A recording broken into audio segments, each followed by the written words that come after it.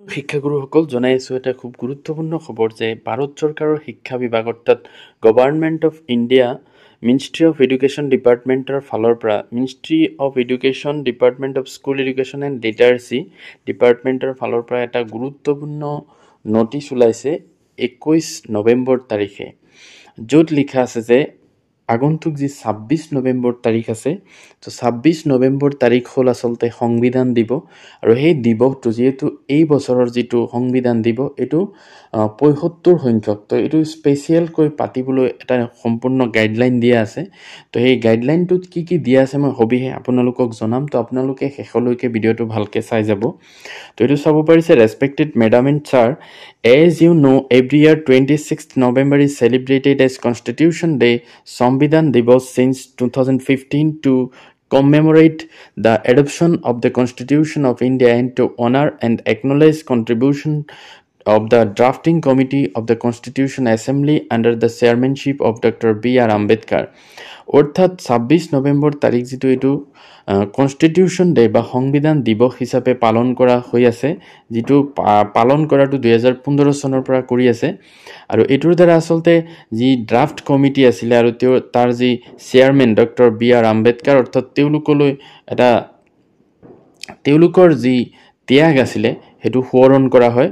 It is also' an occasion to real reaffirm the constitutional ideas and principles India would be celebrating seventy fifth year of adoption of the constitution on twenty six eleven two thousand twenty four and coming to force of the constitution on twenty six one two thousand twenty five অৰ্থাৎ এই বছৰৰ যিটো সংবিধান দিব ছাব্বিছ নৱেম্বৰ তাৰিখে এইটো পালন কৰিবলৈ যো জা কৰা হৈছে যিটো হ'ব পঁয়সত্তৰ সংখ্যক। আৰু আচলতে যিটো গণৰাজ্য দিৱস ছাব্বিছ এক অৰ্থাৎ ছাব্বিছ জানুৱাৰী দুহেজাৰ পঁচিছত পালন কৰা হ'ব তো এই ছাব্বিছ নৱেম্বৰ তাৰিখে কি কি কৰা হ'ব সেইটোৰ নিৰ্দেশনাৱলীবিলাক চাওক।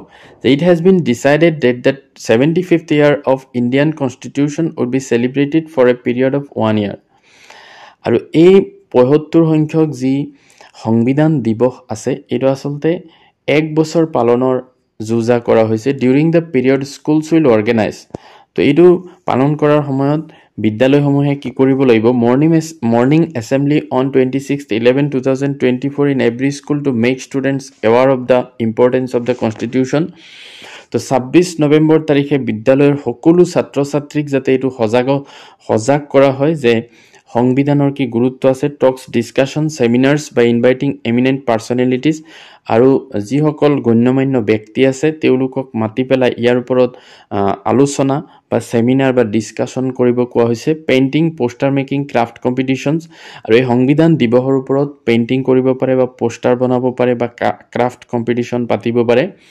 Declamations on the significance of the constitution লগতে সংবিধানৰ যি তাৎপৰ্য সেই সম্পৰ্কে বক্তব্য আগবঢ়াব পাৰে। Community awareness activities like street plays প্ৰভাত ফেৰিজ আৰু বাটৰ নাটক বা প্ৰভাত ফেৰী সেইবিলাকো ওলাব পাৰে যাতে যিসকল মানে ওচৰ চুবুৰীয়া মানুহ আছে তেওঁলোকেও গম পায়। Creative ways of engaging the students like selfie point formation of human chain rap songs etcetera লগতে বিভিন্ন ধৰণৰ ছেল্ফি পইণ্ট বনাব পাৰে আৰু ৰেপ ছং বনাব পাৰে এই কনষ্টিটিউশ্যন ডে'ৰ ওপৰত।